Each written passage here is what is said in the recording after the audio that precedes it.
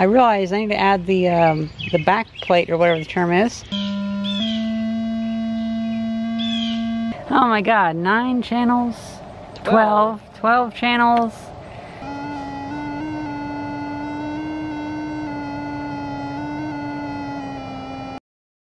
You know, I'd like to try out a helical axial mode antenna because, well, I just don't get hardly any TV reception out here, and perhaps a very directional antenna like that, very nice and focused one, could do a good job of getting me some TV. A helical axial mode antenna is basically just a, a helix of wire, and then it broadcasts and receives in the, the like the axis of the uh, the helix. So one thing I think I can do is I can simplify this by wrapping it around something instead of having it just like freestanding whatever. And then it occurred to me, with the frequency that I'm working with, I could actually take two 2x4s, screw them together, like imagine a lot longer than that, and then I can actually have the wire going around like that, hook it on each side, like every half turn, and that would be a nice sturdy way to build a cheap little antenna.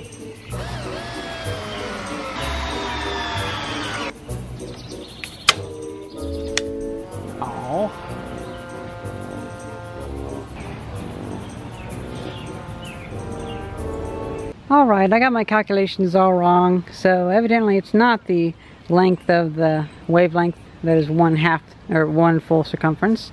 Actually, it's a bit different because I forgot it's a helix, so or helical, so it is um, actually like kind of more like an oval shape, so it's weird. So here's the better calculations. And plus, actually turns out that this is smaller, so this is exactly seven inches, so that makes things easier. So it makes this a 540 megahertz and I'm aiming for like 550 so that's perfect. The diameter should be 7 inches so that's 7 inches. Between coils should be 5.5 inches like that and then 24 inches all around so that means that it's only one foot per side. Now I'm not so sure, oh wait no it would be Oh, right. Okay, so the actual length is 22. We're going to 24 for the... I'm sorry, I, I forgot that that also affected that. So 5.5 inches is between that and... So it should be 5.5 inches when it comes back down to here. So it should be half of that, or 1 and 1... Uh, or 2.75 inches. I hate Imperial, but I know you guys will probably like it most because... For the most part, this is for the United States. Other countries probably have different standards. Okay, so I'm going to change that. It's a shame I don't have a good way to fasten it other than tape, but whatever.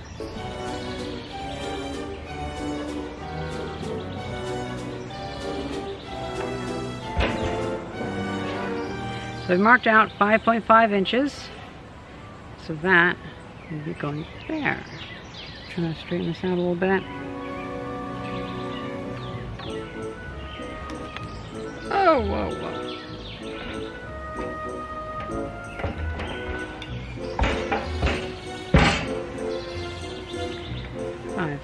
5.5. Gonna go ahead and mark out some more of these.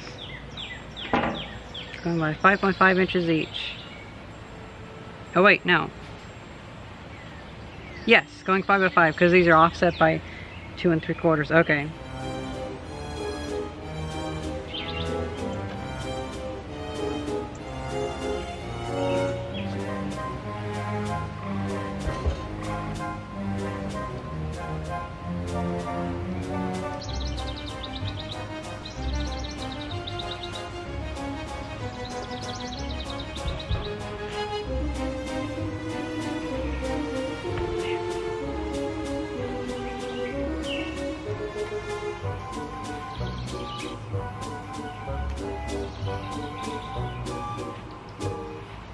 Is so cool. So, let's, um, oh wait, we have to make the reflector on the back. Almost forgot. Oh, and good news. My TV decided to have sound again. I think it has a loose connection in there somewhere. 14. 15! Oh my god! Oh my god!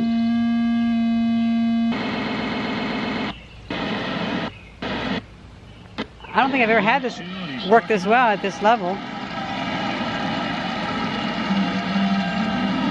Think I should move it that way. One row.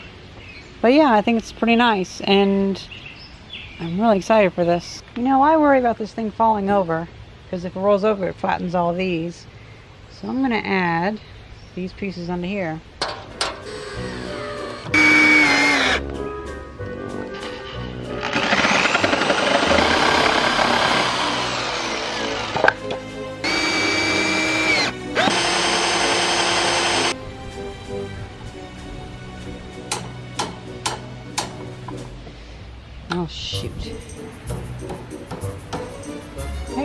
There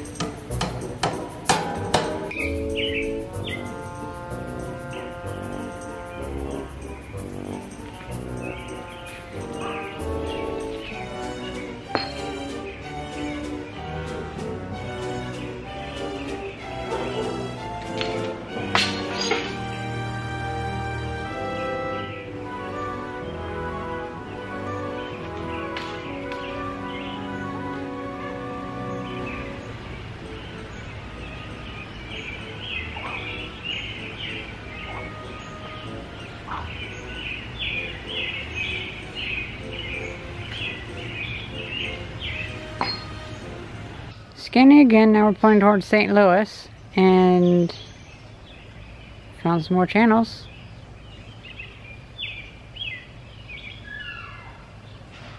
Channel 5, okay.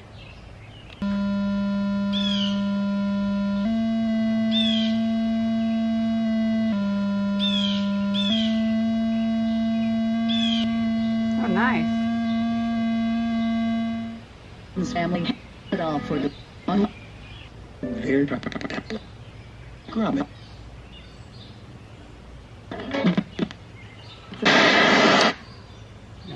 But yeah, I'm pretty happy with this. Seems pretty directional too. That might not be a great thing, but at this distance, that's kind of what you need. So my plans have been a little bit derailed. So I'm not going to hook this onto a pole for now for testing. I was thinking about taking and hooking onto a boom lift at the Red Rooster that the brick guys were using for the bricks. But the day I was going to do that, several weeks ago, they took them away and they haven't given us any clear answer when they're going to bring them back. Because wouldn't that be awesome to have it like C-clamped onto a boom lift and then have the TV and the, and the converter box up there like 60 feet in the air and you can be up there with the antenna? I thought that'd be a cool video. So I just had this thing stored in the backyard with a tarp over it. It seems like the tape's kind of falling off and my cat was underneath the tarp and kind of messed with the coils and it's just kind of falling apart. The back piece fell off. So I got myself a little metal plate that I can use to screw the back ground plate or whatever on there really nice and sturdily. Then I got myself a bunch of these nail-in staples, steel ones, and those will do a good job of replacing the tape.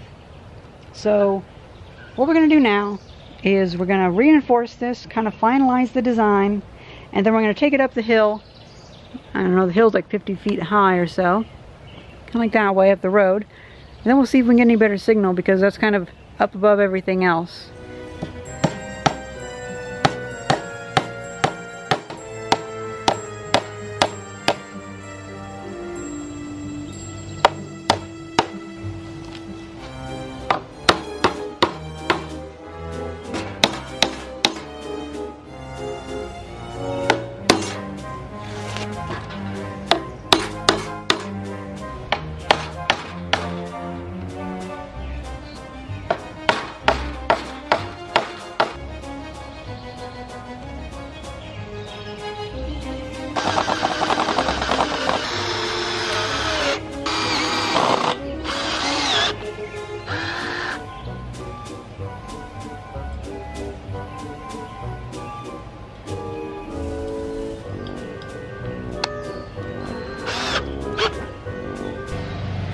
At that.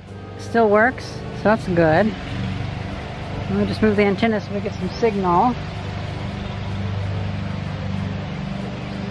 There we go. Sweet. Awesome. By the way, do you guys like my new little mobile television setup? So we have the digital converter box taped to this little 5-inch CRT from 1983, I believe. So that's kind of cool. Before I forget, let's try the signal strength level.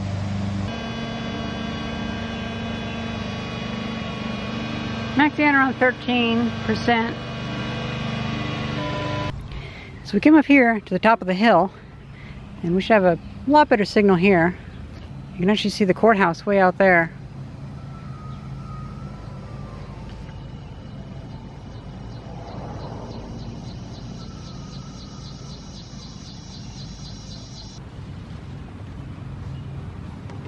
This is hardcore, I can bend them back.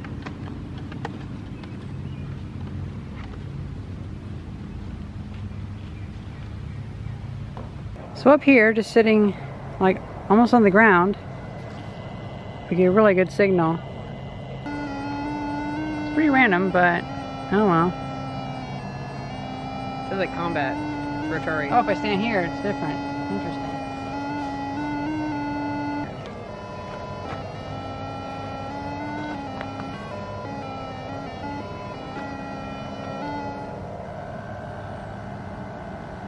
Do a channel scan.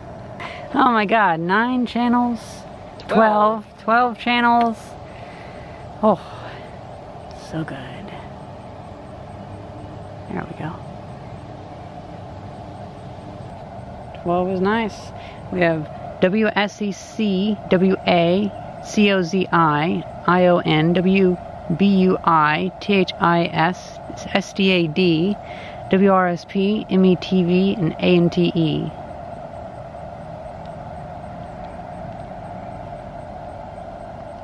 Should tell you what shows on. Yeah, 23%, that's not bad.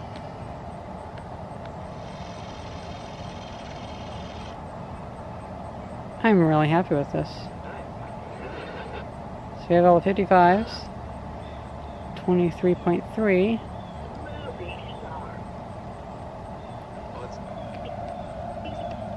Seventeen. Yeah, I got that. Fourteen. Uh, yeah, we got that too. Let me go back to 55. That is pretty good. It's really good. I'm really happy with that. Please forgive me, I did not charge my battery because I ran out of battery life. But it was probably for the best because I think I need to do some other upgrades before I go back out there and spend too much time trying to get more channels because I think that that converter box needs to be upgraded. The little RCA one, it is kind of, it's, it's, it's crap and a lot of people have already mentioned that that one is particularly bad. So what I've done is I went ahead and ordered a Zenith DTT-901 converter box, which I've heard actually has a, does a better job getting signals, which I never even thought that different TV boxes would pick up on more or less channels, but I figure what we'll do is we'll do a whole another video of just testing it, testing that out with the new box. Well, what we got is I was pointing north and we got a lot of the Springfield stations, so that's good. We did not get the Peoria stations that are 100 miles from here, but I'm going to aim for eventually getting CBS's WMBD-DT30 or 31, channel 31. However, the furthest channel that I got was WBUI in Decatur, which is that way. So I had this signal, I had the antenna pointing north when I should have had north, northeast. Sorry, backwards. And then we have another one that was kind of over here that was W40, W40CV-D channel 40 and I think something like that. And so obviously this antenna, it is quite directional, but it can also get signals from the sides, so that's pretty nice. I might see about making more of these because I think I have, like I can get like eight or nine more of the same lengths of wire and just make a bunch, just make a huge array. Be kind of cool. But I would like you guys' opinion. Do you think that doing that would, like, if you add two of those, would that double the signal or would that just add like 50% and then adding more? It would be like, what was the term? Like inverse square? I'm not sure. Anyway, that's what we got so far. We got almost 70 miles when it just sitting on the ground on a hill. So if I got it on a tower, I might be able to actually get some troposphere bounces of some much further stations. Possibly get Chicago, maybe some Canadian stations. So this is a pipe dream, I know, but if I ever do move to Switzerland, that would be cool to get all of Europe. Or if I ever move to Hokkaido, that would be amazing to get all of Japan and like North and South Korea and Chinese and Russian TV stations, like, and maybe even some Alaskan TV stations from like Troposphere Bounce. It'd be so cool. Oh my god. Ah. Well, anyway, pipe dreams aside, I'm really happy with, with this antenna, especially because it only cost a couple dollars to make. I hope you guys enjoyed this video. Thank you very much for watching. See ya.